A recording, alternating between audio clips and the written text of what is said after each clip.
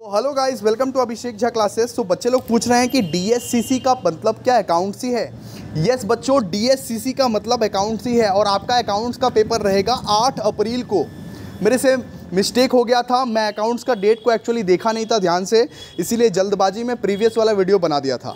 सो so, आपका जो accounts वाला जो पेपर रहेगा ना 8 अप्रैल को होगा 10 बजे से शुरू होगा और आउट वाला सेंटर में होगा। होम सेंटर में नहीं होगा आउट आउट सेंटर में होगा। और यस वापस से एक बार देख लो, वापस से एक बार चेक कर लो। और मैं बता दूँ कि भाई, सारा का सारा lecture E N V S constitutional value सारा का सारा लेक्चर इस चैनल पे तुमको मिलेगा। जल्दी से टेलीग्राम चैनल ज्वाइन करो यूट्यूब यूट्यूब को सब्सक्राइब करो शेयर करो, जितना ज़्यादा तुम शेयर करोगे, उतना ज़्यादा है। सारा का सारा लेक्चर अपलोडेड है, तुमको बस देखना बाकी है।